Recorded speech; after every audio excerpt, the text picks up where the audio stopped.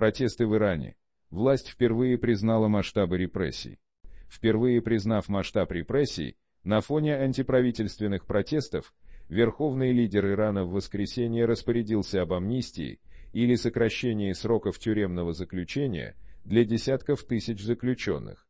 Об этом сообщает РБК «Украина» со ссылкой на Франс-24. Объявление было сделано через пресс-релиз, а мероприятие запланировано к 44-й годовщине победы Исламской революции 11 февраля.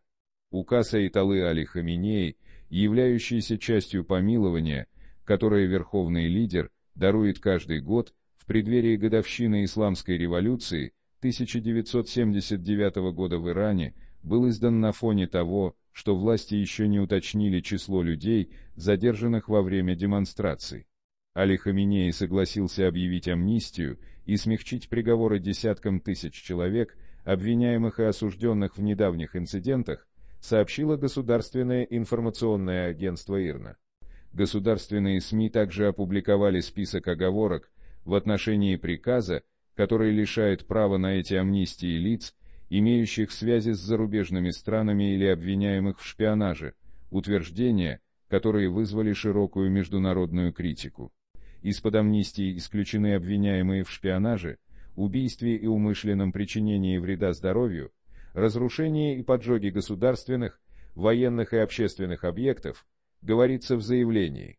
На своем сайте Мизан онлайн иранский судебный орган добавляет, что лица, арестованные в связи с протестным движением, будут освобождены только в том случае, если они подпишут заявление о раскаянии и письменное обязательство не повторять подобное умышленное преступление.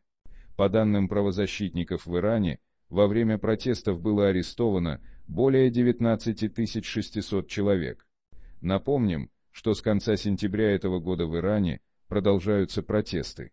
Они были спровоцированы тем, что 22-летняя Махса Амини погибла после задержания полиции морали за неправильное ношение хиджаба. По данным иранских властей, во время протестов погибли около 200 человек. Но правозащит. Срочные и важные сообщения о войне России против Украины читайте на канале РБК «Украина в Телеграм».